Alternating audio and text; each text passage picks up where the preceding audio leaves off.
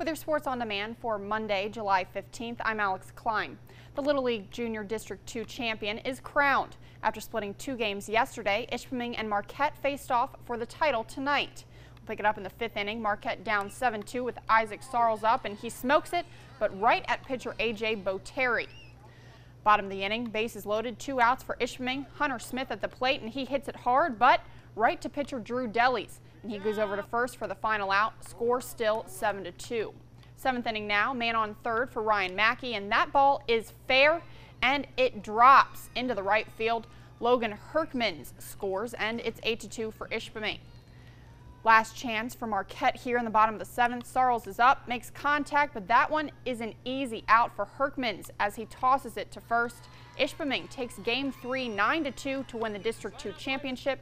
Pitcher A.J. Boteri pitched a complete game. It feels really good because we've been waiting a long time for this and we've had a lot of all-star seasons losing in the championship game.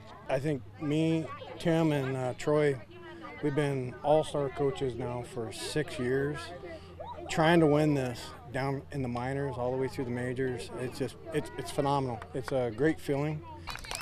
Both the 11-12 majors and 13-14 juniors from Ishpeming will now go downstate for the state tournament. Congrats on the huge accomplishment.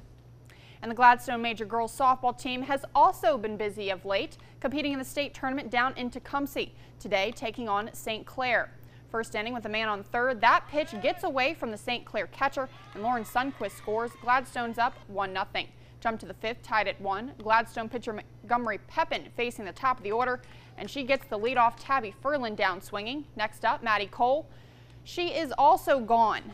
Then Aubrey Heron is up, and guess what? She goes down swinging as well. Pepin strikes out the side, and we are still tied at one apiece. We go to the sixth inning now, two outs. Riley Drew up. She hits a chopper. That gets past the pitcher. Pepin is coming to third from second, and the throw is in the dirt and gets away. Pepin comes home to score. Gladstone wins a thriller 2 to 1. Here's some of the girls on the big win. I really needed a hit, and so we didn't have to go into extra time.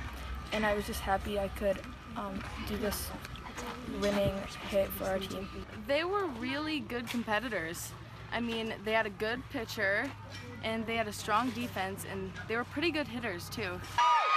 But Gladstone was able to overcome it all and get the win. The Little Braves will take on Cheboygan in the quarterfinals tomorrow.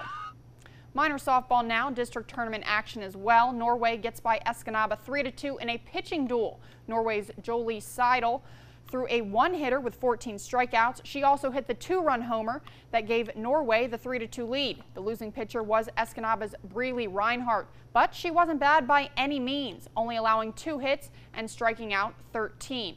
Norway advances to the district championship game. Escanaba will play Kingsford in the losers bracket.